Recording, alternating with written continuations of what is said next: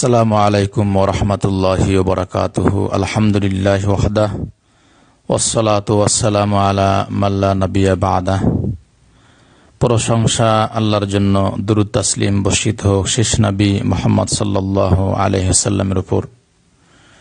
আজকে আপনাদের সম্মুখে গুরুত্বপূর্ণ একটি বিষয় আলোচনা করব, তা হল যে মানত জিনিসটা আসলে কি? এবং যে স্থানে মুশরিকেরা তাদের দেবদেবী পূজা করেছে, সেখানে কি মানত করা যাবে? সম্মানিত ভাই ও বোনেরা, আমরা যে যেখান থেকে শুনছি, বিষয়টি অত্যন্ত গুরুত্বপূর্ণ। আমাদের জানা দরকার। মানত আসলেই মানুষের মনের ইচ্ছা পূর্ণ করে। আর মানতের অর্থ এই, যে বিষয়টি তার উপর অজীব নয়, আবশ্যকীয় নয়, সে বিষয়টি সে আদায় করার চেষ্টা করা। যে বিষয়টি তার জন্য আবশ্যিকও নয়, অজীব নয়, সে বিষয়টি তিনি আদায় করার জন্য নিজের উপর আবশ্যিকও করে নেওয়া। জি, এ মর্মে আল্লাহ সুবহানা তালা বলছেন ইউফুনা বিন নদর। তারা মানত পূর্ণ করে। তারা মানত পূর্ণ করে। মহান আল্লাহ আরও বলেন, ওয়ামা মিন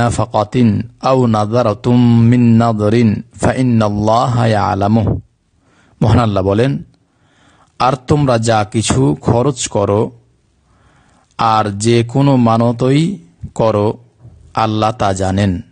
আপনি, আমি কিসের উদ্দেশ্যে মানত করছি? কি খরচ করছি? এ বিষয়গুলা আল্লাহ সুবাহানা তালা জানেন। এ মর্মে আয়েশা রদি আল্লাহ তালানহা থেকে বর্ণিত আল্লাহ রসুল সাল্লাম বলেন মান্না দ্বারা আইয়তি আল্লাহ ফালিয়ত ওহু ওয়ামান্না দ্বারা আইয়া আসিল্লাহ ফালাইয়া আসিহি ইমাম বুখারি রহেমাল্লাহ হাদিসটি নিয়ে এসেছেন ছয় হাজার ছয় শত ছিয়ানব্বই নম্বর হাদিস।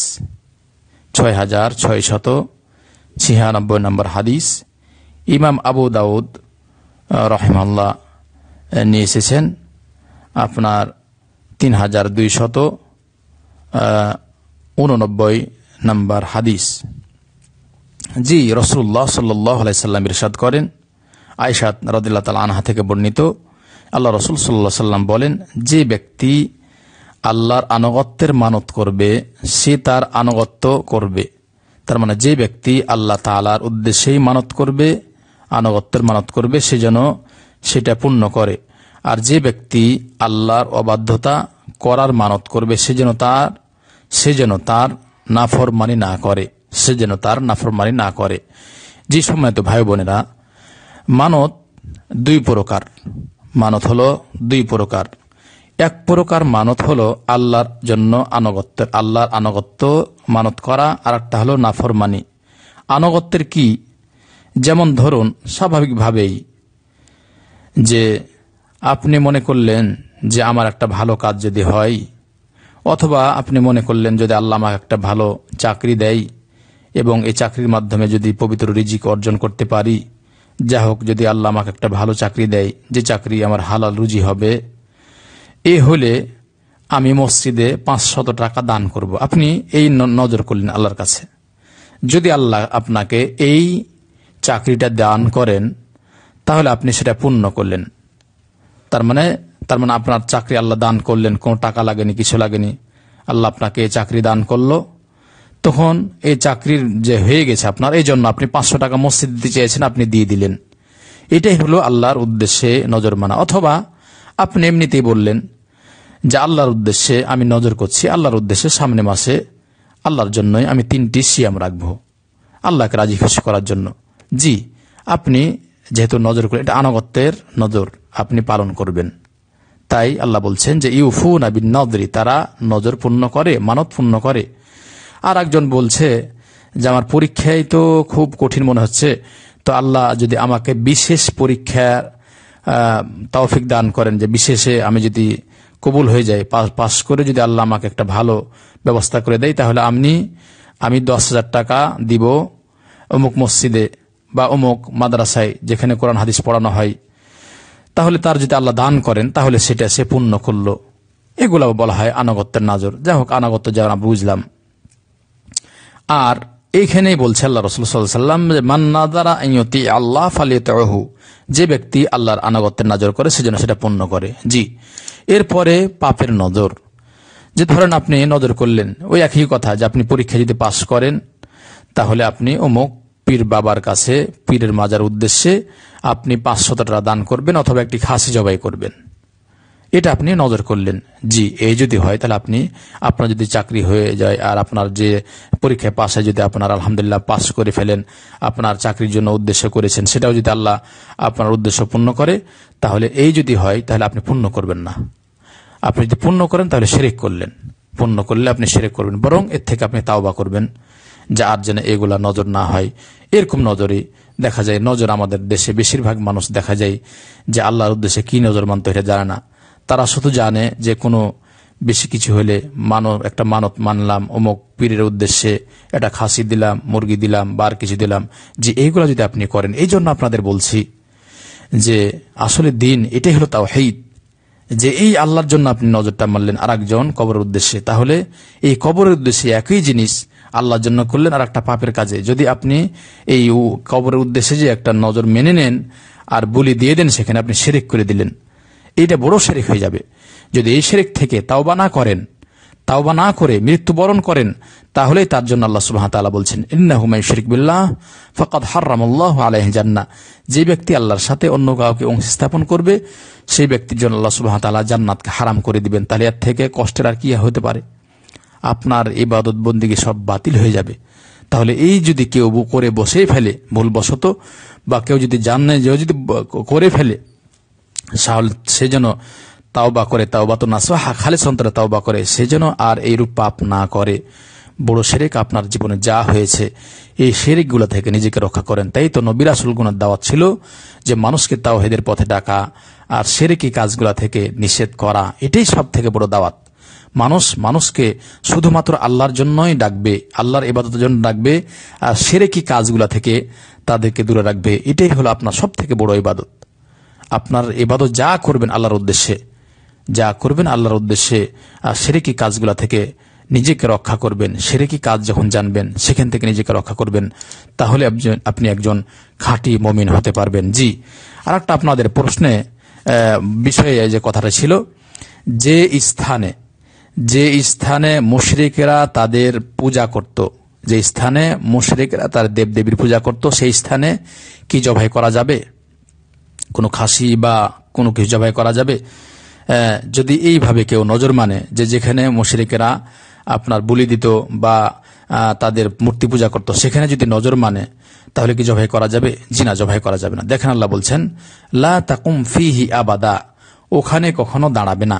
তার মানে যে কাজটি আপনি করেছেন, সে কাজ ওখানে আপনি করবেন না। আর এখানে যে স্থানে এটা মূলত নজরের কথা বলা হয়েছে, এবং আর একটা যে মুনাফিকেরা মসজিদে জেরার, মসজিদ মুনাফিকেরা যে মসজিদে জেরার করেছিল, যে তারা মূলত মসজিদে জেরার মুসলমান একে অপরে ক্ষতি করার জন্য এই মসজিদে আল্লাহ সুবাহ তালা সালাত পড়তে সে সময় নিষেধ করেছেন। জি, এ মর্মে দেখেন, যে আল্লাহ রসুল সাল্লাহ সাল্লাম যে হাদিস যে তিনি যে হাদিসটা নিয়ে এসছেন আমরা যে হাদিসে পাই দেখেন এ বিষয়ে কি বলছে। ইমাম বুখারি রহমাল্লাহ এবং অন্যান্য গ্রন্থে হাদিসটি জিনা। জি, অন্যান্য গ্রন্থে হাদিসটি সোনান আবু দাউদ। জি, সোনানে আবু দাউদ। সোনানে আবু দাউদ এসেছে আর বলছে যে হাদিসটি সনদটি বুখারি, মুসলিম শর্তে। মানে সনদটি ইমা আবু দাউদ রহমাল্লাহ হাদিসটি নিয়ে এসছেন আর এর সনদ বুখারি, মুসলিম রহমাল্লাহ শর্ত অনুযায়ী সনদ নিয়েছেন তো দেখি আমরা যে হাদাস নাম্বারটি যে ইমাম আবু দাউদ রহমাল্লাহ হাদিস নিয়েছেন তিন হাজার তিনশত তেরো নম্বর হাদিস তিন হাজার তিনশত তেরো নম্বর হাদিস জি আর ইমাম বাইহা ওয়াসুনাল কুবরা লিল হাকি তিনি নিয়েছেন দশ দশ দিয়ে বিরাকেটে দিয়েছেন তিরাশি দিয়েছেন যা হোক হাদিসটা সহি হাদিস দেখেন এখানে কি বলছেন যে নাদারা রজুলুন আইয়াজ বাহা ইবেলান বিবুয়ানাতা فسأل النبي صلى الله عليه وسلم فقال هل كان فيها وثن من أوثان الجاهلية يعبد قالوا لا فقال فهل كان فيها عيد من أعيادهم قالوا لا فقال رسول الله صلى الله عليه وسلم أوفي بنظرك فإنه لا وفاء لنظر في معصية الله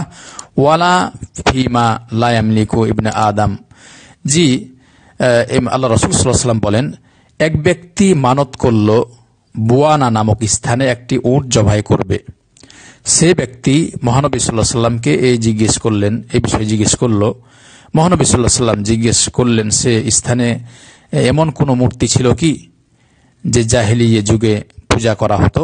তার মানে আল্লাহ রসুল সাল্লাহ সাল্লাম বোয়ানা স্থানে যখন ওই ব্যক্তি আল্লাহ রসুল সাল্লাহ সাল্লাম জিজ্ঞেস করলেন যে ওখানে আমার জবাই করতে চাই মানত করছি।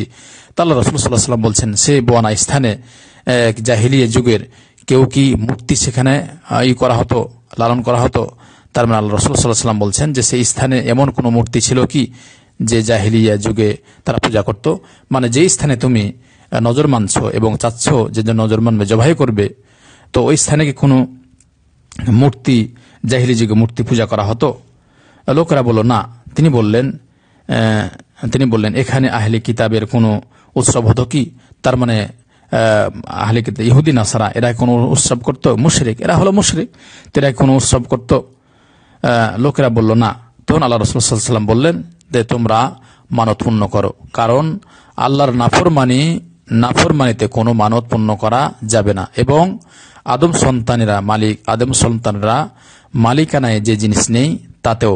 তেমন আদম সন্তানের এই যে যেগুলা কুফরি কাজ, যে এই ক্ষেত্রে আদম সন্তানের কোনো মালিকানাও সেখানে নাই, বরং কুফরি কাজে এখানে কিছু করা যাবে না। তাই এখানে দুইটা বিষয় যে যদি জাহিলিয়া যুগে যেখানে মূর্তি পূজা করা হতো বা ইহুদিন আসারা মুশরিক যারা, তাদের যদি কোনো উৎসব সেখানে যদি করে, সেটা যদি তারা মুশরিকেরা সে মূর্তি পূজাগুলা যদি উঠিও নেই তাহলে ওলামা সন্না বলছেন, এখানে আপনি জবাই করতে পারবেন না এবং কোনো নজর মানবেন না যা এ হাদিস থেকে স্পষ্ট বোঝা যায়। তাই আমরা আপনার, আমার জীবনে যদি আপনি, আমি কল্যাণ করতে চাই, তাহলে যে আমরা বুঝলাম যে মানত শুধু আল্লাহর জন্য আপনি করবেন, আনগত্যের মানন হলে আপনি পূর্ণ করবেন। আর যদি কোনো সময় ভুলবশত করেই বসেন বা কেউ যদি করেই বসে এই মানতগুলা, তাহলে তাও বা করবে। মানতগুলা পাপের কাজে মানত পূর্ণ করবে না। আল্লাহ সুবাহ তালা যেন আমাদের বোঝা তৌফিক দান করেন। তাই মানত মানত হলো একটি ইবাদত। তাই এবাদত বিষয়গুলো শুধু আল্লাহর জন্যই করতে হবে, অন্যর জন্য করলে সেটা শেরিক হয়ে যাবে। তার মানে মানত আল্লাহ জন্য না করে, কোনো পীর মাজারে বা কোনো ব্যক্তি উদ্দেশ্যে বা আল্লাহকে বাদ দিয়ে অন্য নামে যখন করা হয়, তখন সেটা শেরিক হয়ে যায়। এই জন্য যেহেতু মানত, একটা ইবাদত, আল্লাহর ইবাদত বিধায় এটা আল্লাহর জন্যই করতে হবে। অন্য নামে করলে সেটি শেরেক পর্যায়ে চলে যাবে, বড় শেরেক হয়ে যাবে এবং আপনার আমলগুলা নষ্ট হয়ে যাবে। তাই তো আল্লাহ সুহাম তালা তার রসুল সাল্লাহ সাল্লাম সম্পর্কে বলছেন, লাইনা সরাক্তা লাই হাবাতান্না আমালুকা ওয়ালা তা কুন নামেল খাসরিন হেনবি তুমি যদি আল্লাহর সাথে অন্য কাউকে অংশ স্থাপন করতে, তাহলে তোমার আমলগুলা বরবাদ হয়ে যেত। তাই সময় তো ভাই বোনেরা আমরা যেখান থেকে শুনছি, আপনাদের কল্যাণ চাই, আপনাদের শত্রু নয়, আপনাদের বন্ধু। তার মানে একজন মানুষকে যদি সঠিক পথ দেখানো যায়, সেটাই মানব জাতির হোকাল পরকাল কল্যাণ। আল্লাহ সুবাহ তালা যেন আমাদের কোরআন এবং সুই হাদিস অনুযায়ী এবং সালাফুসাল যে পথে চলে গেছেন সেই পথে চলার তৌফিক দান করেন। আল্লাহ আলাম।